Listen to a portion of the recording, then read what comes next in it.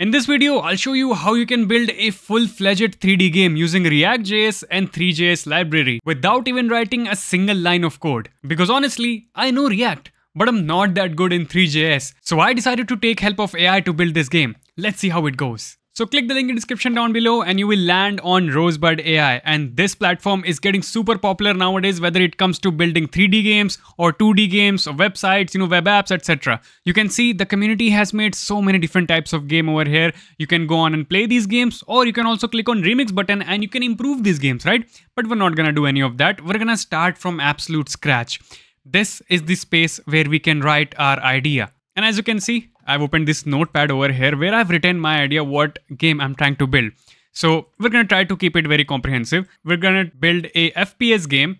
The game will be called Urban Vanguard. We've provided the genre over here. The setting will be a sprawling modern metropolis experiencing a sudden and coordinated insurgent attack during a bustling weekend. We will try to, you know, add probably zombies or something like that. Now story is like our player is called Alex Mercer, an elite operative of Urban Vanguard and he will try to protect the city from the enemies, right? So I'm just going to copy this prompt and I'm going to go on over here and paste it right here. Now, if you're confused about your prompt, obviously you can just input your idea in something like ChatGPT or Claude and get it more comprehensive, right?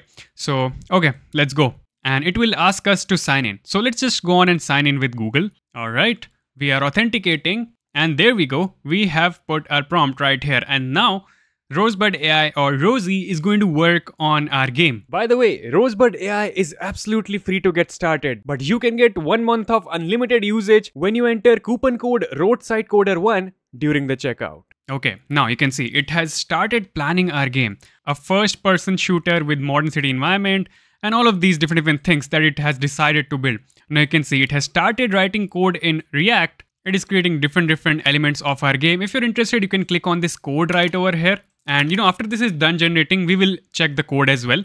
But you can see it is defined in different different states like health, ammo, max ammo, etc. etc. Roll reloading. And you can see it has imported three from Three.js as well. And it is creating our scene and different different elements of our scene. Okay, so we have something over here. And let's check out the first version of our game. And according to that, we will keep on improving things, right? So if I click on begin mission, okay, so we can use WASD to move forward left right that is fine. We have these enemies capsules over here i believe. So these are coming towards the player. Let's see what happens when they touch me. Okay our health goes down. Okay this is nice. The camera movement feels a little weird so i'll try to fix this. And also um, i want to shoot them as well. I think the shooting is a little bit weird so uh, you know what? Let's just try to go on and improve this. I'm gonna say camera movement is not proper and there should be a crosshair to shoot enemies. Let's go. Okay, so I'll implement a proper camera control system with centered crosshair for accurate shooting. Okay, let's see what it does. So as you can see, it is using our Windows inner width, inner height and all to you know, create that crosshair. And meanwhile, let's just go to our code tab and see you can see it has created different different parts of our game right here. And looks like our game is done. Let's let's click on preview. And i'm to click on begin mission. And uh, okay. So i think camera movement is a little bit better now. But the crosshair issue is still not resolved. I cannot see the cross here in the center. And there should be a visible bullet that goes towards enemies when you shoot them. Let's go and see. Okay, nice. Now we can see our crosshair is in the very center. Let's try to shoot these. Okay, and we can see the bullet as well. You can see the bullet is going towards the enemies and we can, oh, we can see the score as well going up. No, I don't think the score is working. So let's just add this feature over here as well. I'm gonna say make the score go up as I shoot enemies and press enter. Okay, looks like it's done. Let's click on begin mission. And if I shoot on this enemy, yes, it is increasing the score by 10. Let's shoot another one. Okay, nice. The score system is working and looks like it has given us the max score of 1000. let's, uh, you know, keep the maximum score of 500 instead of 1000. So I'm gonna say, let's keep the max score to be, or let's say 100 for now. And yeah, over here we can see, let's implement a victory screens screen when a, uh, when player reaches the maximum score of, let's just copy the whole line. So you can see it suggests us different improvements as well. So let's just say 100 right? And let's press enter. And you can see it's making changes in this victory screen.jsx file. And by the way, you can see it's using the good practices of creating a context over here. And looks like it's done. Let's try it out. Okay, we are on 90 now again. And the last one, there you go. Oh, nice. Mission complete. And we can click on start new mission and the game will be restarted. Okay, awesome. Let's go on into more advanced stuff now. So we don't want these capsules as our enemy, right? And also this environment looks very plain. So we want to uh, update both of these things. So first of all, all we need to do is we need to go to this assets tab over here. So in the assets tab, you can come down to this drop down and click on 3D asset. And now let's say a zombie, right? And press enter. And you can see it has started generating a zombie character for us. Okay, so it has generated this thing for us. You can see not bad. I tried generating it again and it gave me this. So yeah, both of them look pretty good, at least better than that capsule, right? And obviously, if you're wondering, yes, you can upload your own 3D assets as well by clicking on this upload asset button.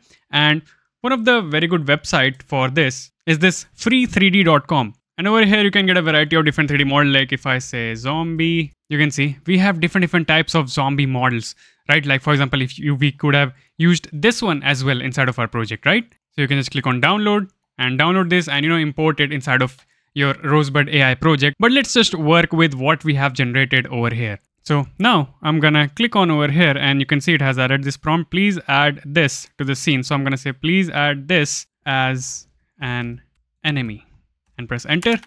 All right, there we go. There are our zombies and there should be more than one, right? Oh, there we go. There are different, types of zombies. Let's try shooting them. Okay, looks like we have some error over here, but no worries. We'll just allow AI to fix it. So I'm gonna click on fix it. Okay, looks like it has been fixed now. If I click on enemies and you can see there was a beautiful animation whenever an enemy is killed. Okay, plus 10, plus 10. This is really nice, you know.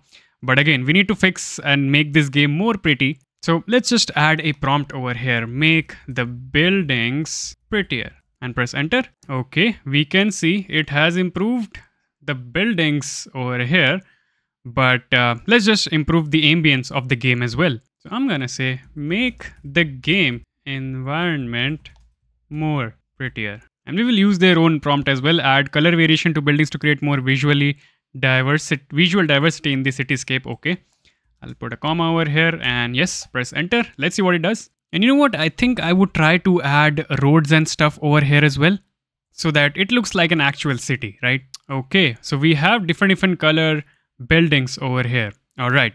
So you know what? Let's just um, give this the prompt. I'm just gonna use their prompt like add sidewalks, roads, and small environmental props to enhance the urban atmosphere. There should be buildings around the roads as well. Let's go. All right, so looks like there was some error and I just clicked on fix it and it fixed it as well. And let's check it out.